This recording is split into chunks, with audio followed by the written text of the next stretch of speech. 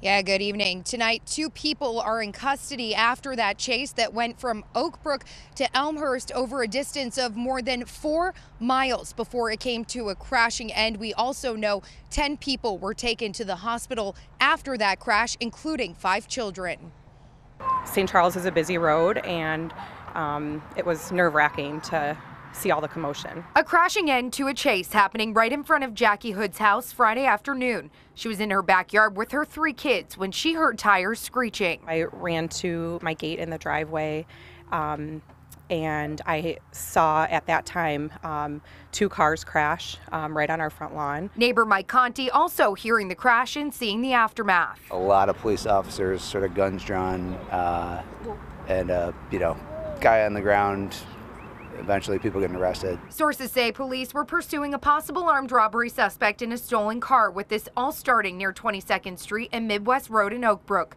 That pursuit eventually entering into Elmhurst when the suspect driver turned eastbound on St. Charles Road from Route 83. I was initially just like shocked at what I was seeing, and then um, fear. You know, I wanted to make sure my kids were safe, so quickly ran inside. Elmhurst police say they didn't initiate the pursuit but responded to multiple scenes. The driver running from police reportedly sideswiping a school bus only occupied by its driver near St. Charles and Berkeley before sideswiping another vehicle near St. Charles and Spring Road right near York High School. I was also thinking of the high school students that we have um, just a block down the street that are usually out and about walking home from school at that time. No one was injured in either of those crashes. Residents say many students walked by the spot on St. Charles near Argyle where this all came to an end after the suspect driver hit another SUV, pushing it onto the sidewalk. Definitely a close call, and you know somebody was in the wrong place at the wrong time, but uh, hopefully they're all right. Elmhurst Fire and Mutual Aid responding to the scene, taking 10 people to area hospitals with minor injuries, including two adults in the SUV hit by the suspect driver. Two people, a man and woman who were in the GMC, were taken into custody by Oak Brook police. There was a swarm of um, police and it, you know, it looked like everything was handled and under control, and um, you know, it felt very safe.